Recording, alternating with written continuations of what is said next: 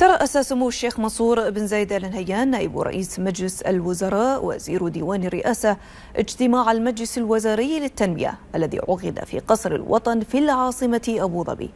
حيث جرت خلاله مناقشة عدد من التشريعات والسياسات والمبادرات الهادفة إلى دعم وتطوير منظومة العمل الحكومي.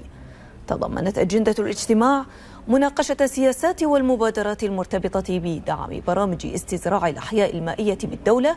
وسياسة رفع كفاءة العمل الحكومي من خلال استخدام تقنيات الذكاء الاصطناعي والسياسات المقترحة لتعزيز منظومة الأمن السيبراني ومشروع هيكلة الصكوك الإسلامية بالإضافة إلى إعادة تنظيم شؤون العاملين في المنشآت الفندقية. كما ناقش المجلس الوزاري للتنمية مشاريع إعداد عدد من القوانين الاتحادية بشأن النقل البري وتنظيم قطاع الفضاء وتنظيم وكالة الإمارات للفضاء ومشروع إصدار اللائحة التنفيذية في شأن المنشآت الصحية الخاصة وإنشاء صندوق الفضاء الوطني.